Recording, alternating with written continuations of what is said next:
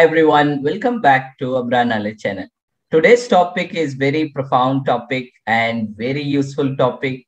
The topic is when you have a data, you can convert into resultant value, particularly in Six Sigma. So it is also called Six Sigma calculator. For example, you have a value percentage and you wanted to convert into DPMO, defect per million opportunity, or you wanted to convert into ZST or ZLT, short-term performance, long-term performance, or you wanted to convert into sigma value. All these can be done in few fraction of seconds, right? Exactly the same thing. You have another thing uh, called, for example, you have a process capability, uh, inherent process capability, a resultant process capability, CP CPK you wanted to find out. Now, all you need to do is you need to feed LSL value, USL values, and uh, the process mean and the standard deviation. Automatic CP, CPK value will get automatically calculated. Similarly, you wanted to find out the other metric, for example, DPU, defect per unit, DPMO, defect per million opportunity, or sigma value. All these can be done unbelievably easy and it can be done in split seconds. Let's see more in detail directly in DATAtab. I'm opening up the DATAtab. So this is the DATAtab uh, Six Sigma calculator. For example, if I feed the value like 1500 uh, DPM value, defect per million opportunity is 1500, it automatically says that the short-term performance will be 4.47 and the long-term performance will be 2.97. Let's assume that I will put it like for case study 3.4 defect if we have that is equal to 6 sigma, right? So the short-term performance that 6 sigma is 6. Let's assume that I have 1000, right? For 1000, so you will have 4.59 sigma. Similarly, I cut down into 500 and 4.79 and exactly let's say i'm having only one defect out of 1 million opportunity. That means it is 6.2 sigma let's say i have only 0.5 uh, you know defect per million opportunity then 6.39 let's say i have only 2.2 defect 6.57 the sigma value that is short term performance will go up. Exactly the same thing. Let's say dpo uh, like defect per unit is known, for example, if a per unit is, let's say from the P chart or U chart, I'm finding out the P U value, that X bar value, that X bar value or U bar value or C bar value, whatever the value which you're getting it, proportionate value, I'm feeding it. Let's say 0.04. Let's say if it is 0.04, it is 4.1 sigma. And let's say 0.004, it is uh, related to 4.8 sigma. Let's say like I'm just improving further ratio and if, like giving like point zero double zero double zero five, you will get 5.3. Let's say I'm getting another one zero five five zero and 5 so 5.92 let's say like this it can easily done. So whatever the value you have uh, get for example the, your rejection ratio is very very high 0.05 so that is uh, 3.16 sigma let's say 0.03 it is 3.39 something like that goes on. Let's say your yield is uh, 95 percentage. You don't need to put the percentage just you need to put the number. 3.14 let's assume that your accuracy i mean your yield is 99.99999 then let's see 7.86 let's say i 1 0 i will cut down 1 0 i will cut down. Again further 1 0 i will cut down further 106.25, further 105.76.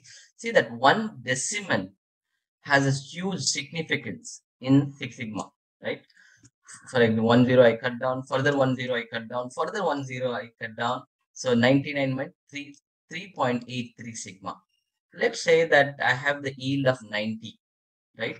If it is 90 the sigma value is only 2.78 sigma right so defect per opportunity you will get it so you will get it huge one so you will get it 100k uh, defect per million opportunity let's say that i have only 50 percentage yield That means the sigma value is only 1.5. So easily, whatever the data you have, when you feed the data here, automatically this gets calculated. Let's see the next one. So next one, you have something called mean, standard deviation, and LSL user. Let's say this is the mean we have. Let's say mean is 8 and LSL equal to 6 and US equal to 10. That is 10 minus, uh, 6 is how much? 4. 4 divided by 2 is 2, right? So that means 6 plus 2 is 8. Well, let, let's assume that we are getting the target or we are getting closer to the target. Let's say a 0.01 we are getting it. So automatically this will get calculated. Let's say standard deviation is 0.05, right? So let's say point, uh, maybe I can say 0.5 or something like that. It automatically gets calculated. So let's see the next topic. Let's it also find out that Z, uh, ST and ZLT. This is what it very, very interesting, right? So let me say 0.4, right? So when I put the 0.4, automatically sigma value show higher. Exactly in the same thing, even if you have a discrete situation, for example, it's a defect and we wanted to find out the OFE, you can do it. For example, let's say you have a defect, a 40 defect, you have sample is 1000 samples. Your opportunity for uh, error or you have OFE 8 are critical to quality 8. That means 8 parameter, this is the what.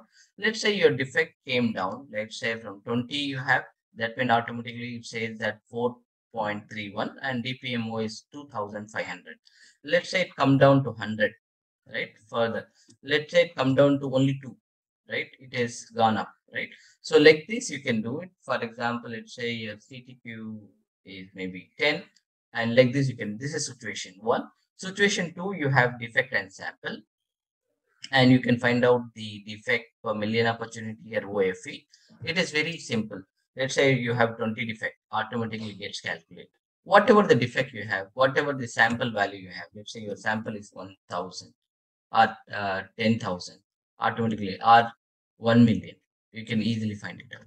So like this defective, the scrap, right? Let's say you have only 5 scrap out of 1001.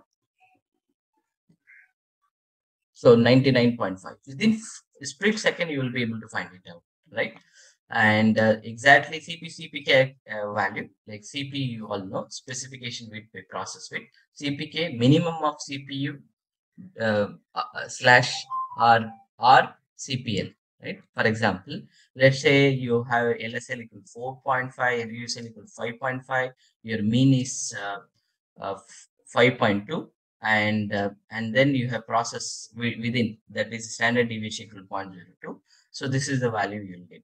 Let's say your mean is improving it. Let's say it has come down to 0.02 that is 8 sigma right? And let's say you have come down to 5 uh, you have come down to 5.1 so automatically the value gets calculated. This also has got six sigma table also as well.